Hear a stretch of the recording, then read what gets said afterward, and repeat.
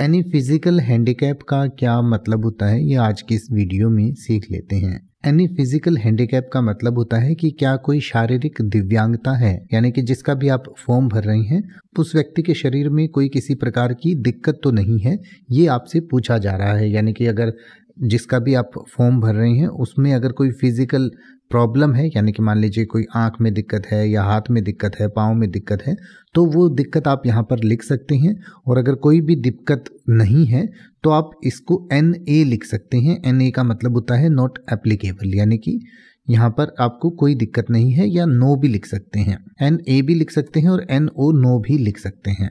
यानी कि अगर कोई दिक्कत नहीं है तो और अगर कोई दिक्कत है तो वो दिक्कत आप यहाँ मेंशन कर सकते हैं कि हाथ में दिक्कत है, पाँव में दिक्कत है, आँख में दिक्कत है या बोलने में दिक्कत है, सुनने में दिक्कत है, कोई भी अगर समस्या है, कोई किसी भी प्रकार की दिव्यांगता है तो वो आप यहाँ मेंशन कर सकते हैं। अब आप ऐसे ही किसी भी वर्ड का मतलब हिंदी और इंग्लिश में यूट्यूब पर सर्च कर सकते हैं, आपको मेरी वीडियो मिल जाएगी, जिसमें आप बिना किसी फालतू बकवास के सीधा उस वर्ड का मतलब समझ पाएँगे। तो ऐसी ही वीडियोस को देखते रहने के लिए चैनल को सब्सक्राइब करें और बेल आइकन को प्रेस करें।